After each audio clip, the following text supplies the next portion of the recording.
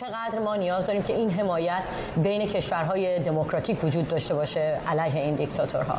فکر می‌کنی وجود داره؟ برای اینکه همین الان می‌بینیم در وسط این جنگ غزه ده میلیارد دیگر از داره های ایران رو در عراق آزاد کردن. جمهوری اسلامی گمان میره چیزی نزدیک به 50 بار شاید بیشتر به منافع ایالات متحده در سوریه و عراق حمله کرده. واکنش ها چندان تون نبوده. چقدر فکر می‌کنید که اون سیاست مدارا همچنان برقراره؟ بسیار زیاد.